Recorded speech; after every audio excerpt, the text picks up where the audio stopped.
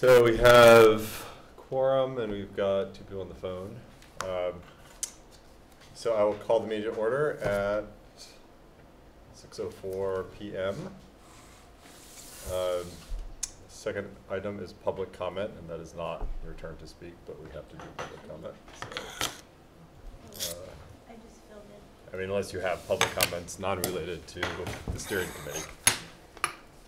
Um, All right, so um, go on to our action item, which is to, uh, first of all, thank you all for your interest in being on the steering committee. We really appreciate the interest. Um, And then we did want to provide an opportunity uh, for you all to speak um, uh, about your interests and just introduce yourself. I think we know most of you.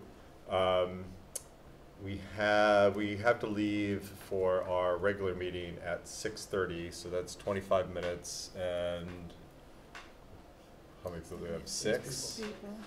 Um, so if you could all speak for about three or four minutes, uh, I think that should give us give us plenty of time to, to hear from everyone. Um, and if you could aim for two, just in case a couple other people filter in the room, so we have some time on the back end. But um, my guess is that won't happen. So uh, you know, somewhere between two and four minutes. And then you can line yourself in whatever whatever order you want to go in. But when you come up, you know, please please introduce yourselves, uh, put a name to the face, um, and then just uh, you know, elaborate on your, your interest for serving. We've all got your letters, uh, which were great. Um, so, Rebecca, do you want to go first? To the mic. To the mic. Mike will. Huh? Either one, either that one or. Okay. Yeah. Why don't you send the desk because we have two people on the Okay. phone. yes. We have just so you know who's on the phone, so they're not mystery people. We have Lisa Frost and Ryan Sajak, uh, who are two Roxbury uh, board members. So I'm Rebecca Copans. Um, I am a mother of three. Um, my first is in second grade. My second is our bonus. She just graduated from UV, uh, from here, and she's at UVM. Um, she's adopted. So she came to us when she was at the middle school, and so we um, shepherded her, shepherded her, shepherded her through high school here. And then my baby is um, at the Montpelier Children's House, which is a pre-K partner of Montpelier. Um, I feel like um, that gives me a really good, broad sense of, of the school system as it is now.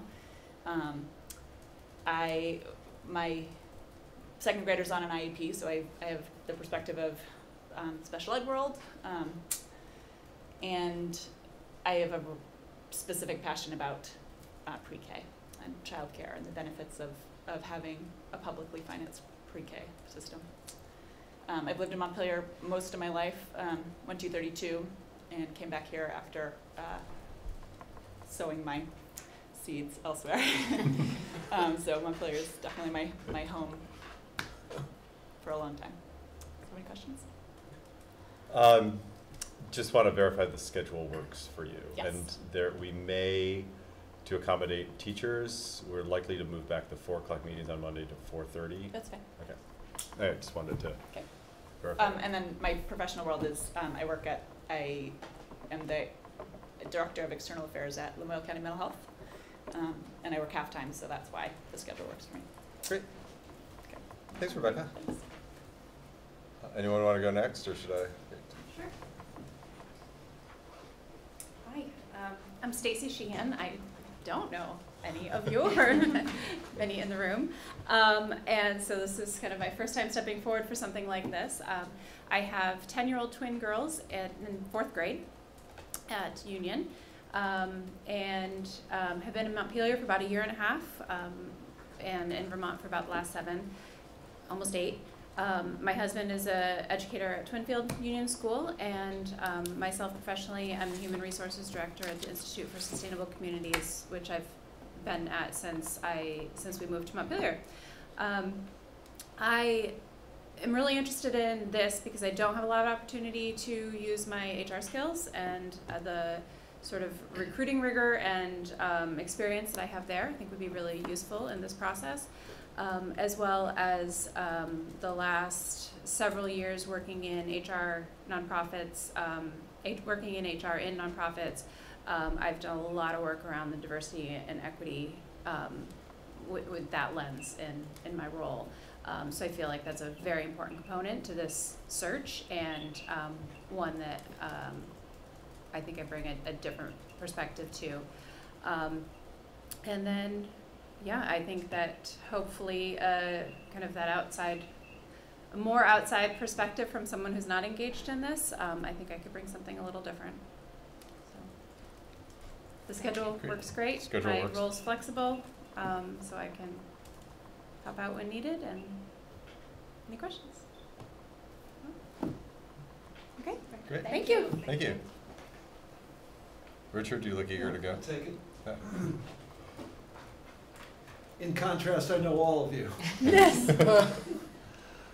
Uh, I would like to do this for an unusual reason. My name is Richard Shear, and I do not have a child in the school. Our child is in the Peace Corps in Ukraine. And I'd like to do this because I've done it before. And I think that that experience would be helpful to the committee. I was on the committee that hired Sue Boyd at Union Elementary, which was a very good hire. And I was on the committee that chose Pam Arnold uh, at Main Street Middle, and that was another good hire. And these committees are kind of, in a sense, like juries, and they come to the right conclusion in very unusual ways. And to have someone in there who's done this before helps on the process side of this. And I, I bring some things to the table, but I, I just, I'm coming in, the, in that direction. I also feel that the people who are chosen who don't have kids in the school have an important role for this committee, and that's how I'm coming in. And I think for the first time in my life, I beat my time limit. Yes. Thank you, Richard. Thanks, Richard. And the schedule works? Yeah, the schedule works. Okay. Great. Nathan? Or,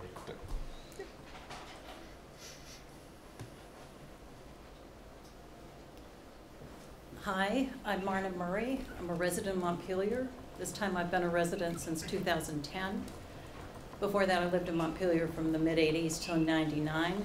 Um, I was raised in Vermont, graduated from four educational institutions, BFA St. Albans, Goddard, Johnson, Vermont Law School. Um, I do not have any children in public school now. I strongly support quality public school education. That really matters to me. My professional career was in continuing professional educations for state judiciaries. I did that in three states, and I returned to Vermont in 2010. I, uh, in the process of my professional career, reviewed hundreds of resumes, uh, applications, and things such as that, so I think I could bring those skills to this. Since I've returned, I've been eager to participate in civic opportunities, but because of my work and travel schedule, I'm not able to do that. So I see this as a limited commitment and experience, and I would make commitments to, to the dates as uh, outlined in your program. Um, because of my work experience, I have uh, deep respect for discretion, confidentiality, and independent judgment. So those are things that I think I would bring to the table as well. Do you have any questions? Okay. Thank you. thanks, Marta.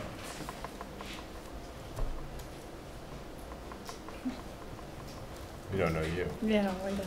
I'm Ken Jones. I've been a resident of Montpelier for 20 years.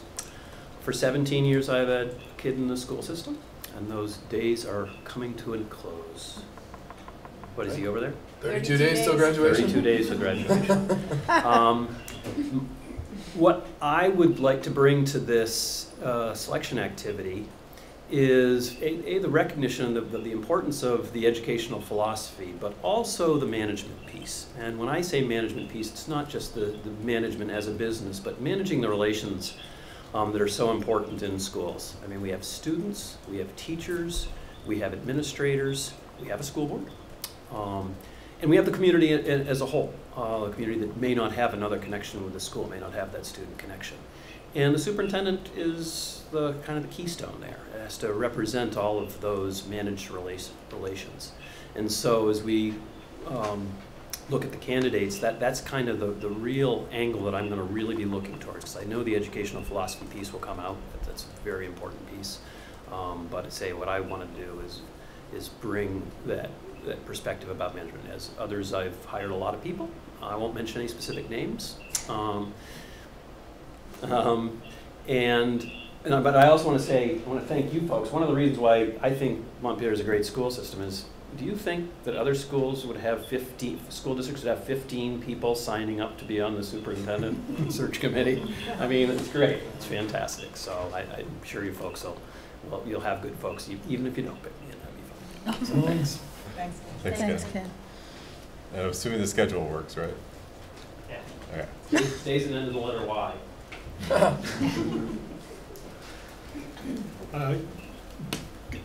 Good evening, everyone. This is Nathan Suter. I live in Montpelier, parent of two children, spouse of one teacher at Union Elementary.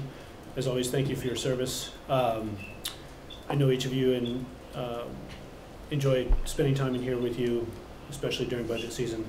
Uh, I'm interested in participating in this process because I've watched with great interest uh, the tenure of Dr. Ricca as superintendent in the course of the school district under his care and under the care of various iterations of the board.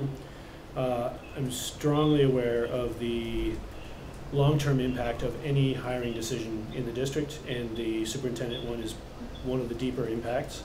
Uh, I have an appreciation for the profound implications of the vision and direction of any particular leader, especially a person at the top who works with their administrative team and acts as a visionary and uh, educational leader for the district. Um, and then um, I have a strong appreciation for what I think Montpelier Roxbury Public Schools can be for this commu- these communities, for this state, and even leading regionally and nationally in other ways. And I think that's really important. Um, professionally, I work with uh, strategy, leadership, and internal culture in organizations, and have a deep appreciation for team dynamics and the implicate and the impact that the, the person at the top position can have. Uh, and then last but not least, I am interested both in this process and in the second round, which I, I hope that the board will pursue a second search regardless of the person selected in this round, starting sometime in October or December of the coming school year, because I think we want to be able to pull from the strongest pool we possibly can. So throw my hat in that ring as well. Um, that's it. Thanks very much. Great. Thanks, Nathan. Uh, the schedule does work for me except for one detail that I added in my letter. On the tenth, I would participate by phone and then arrive halfway through. Okay.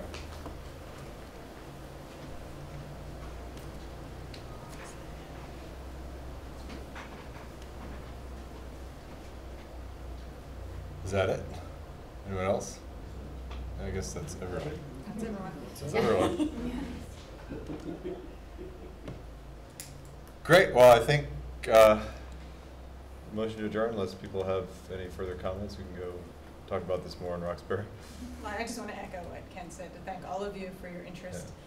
Um, we could staff several amazingly talented search committees out of the people who have expressed interest, and that's just a wonderful um, expression of, of Montpelier's um, commitment to its public schools. So thank you for coming out tonight. Appreciate it. Yeah. Nathan? Can you now or will you in the future share who the uh, teachers are, who, who offered themselves and who the uh, citizens are? And then obviously the finalists. but- Yeah, I think we can do that, can't we? I think Yeah, um, so. Well, first of all, let me echo what Bridget said. Uh, thank you all for coming out. The, there was a strong showing of interest, um, so we have plenty to choose from, and we'll probably not be able to choose all of you. In fact, I know we won't be able to choose all of you because uh, uh, we're only going to choose three or four community members. So I can give you a little bit of breakdown of, of what we're planning since we do have a few minutes.